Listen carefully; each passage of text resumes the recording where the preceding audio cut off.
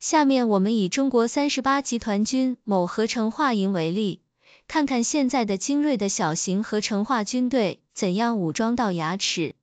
该营编制如下：一个营指挥部，装备二辆装甲指挥车，一辆营长指挥车，一辆炮兵指挥车，均配置信息化指挥系统。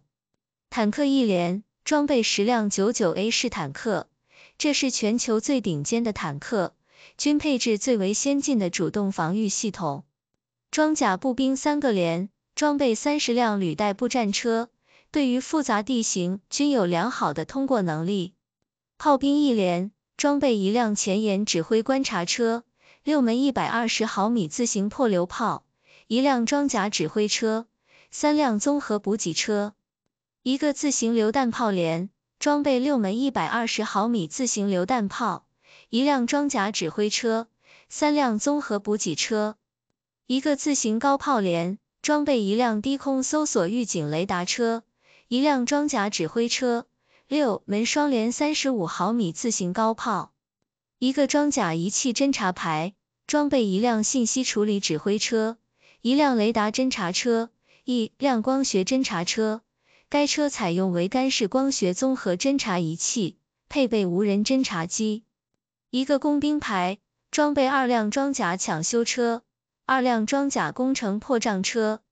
从上述配置可以看出，这样一个合成化营不仅具有很强的装甲突击、炮火掩护、柱投放、工兵支援等传统战争能力，还具有超强的战场侦察，包括装甲侦察车、战场雷达、无人侦察机、防空、电磁与信息化作战能力。这个合成化营编制有几个特点：其一，火力投送能力空前强大。一个合成化营就配置两个炮兵连，装备十二门自行火炮，另外自行高炮连的六了双连三十五毫米自行高炮在紧急情况下也可以作为步兵支援火力。这样的火力投放能力已经超过美军同类合成化部队。这也是受抗美援朝战争的影响，在这场战争中，美军强大的火力投放让我军印象太过深刻。现在发达了，自然要武装到牙齿。其二，防空能力很强。一个合成化营不但有独立的防空连编制，连装甲步战车也配置大量单兵防空导弹。这也是受抗美援朝战争的影响，在抗美援朝战争中。因为我军完全丧失制空权，步兵又缺乏防空武器，所以部队运动受到极大的限制。未来战争，我军主要假想敌就是拥有强大空军力量的美军，所以我军非常重视陆军防空能力建设。其三，通讯与指挥能力很强。一个合成化营装备各类装甲指挥车达到六辆。每辆指挥车都配置信息化指挥系统，特殊情况下都可以作为全营指挥部使用。如此豪华的指挥系统配置，还是受抗美援朝战争的影响。在抗美援朝战争中，因为我军团以下部队没有无线电通讯设备，五次战役以前，部队联系主要靠传令兵、军号与哨子。如此简陋的通讯条件，让部队联络指挥受到极大的限制，战场信息无法得到及时传达，对于战场指挥影响极大。所以，现在我军对于通讯与指挥联络空前重视，合成化营这样几百人的部队指挥车就配置六辆，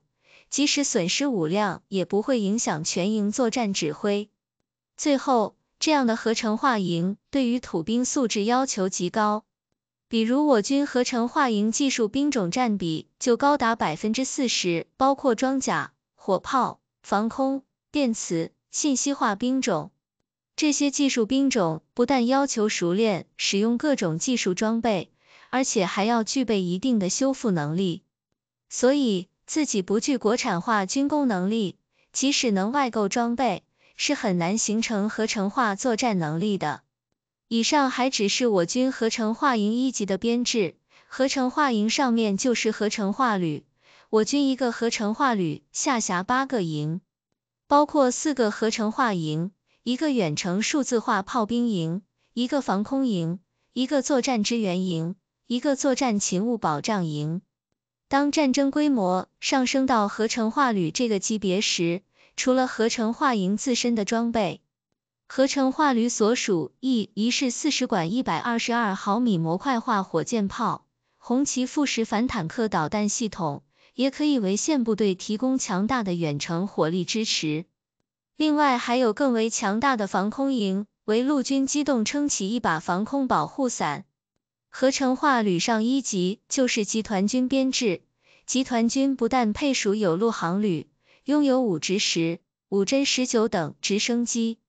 可以给合成化旅提供空中支援火力，还拥有三百、三百七十远程火箭炮系统，火力覆盖距离达到三百公里，甚至还可以获得军属东风战术导弹系统这样的大杀器。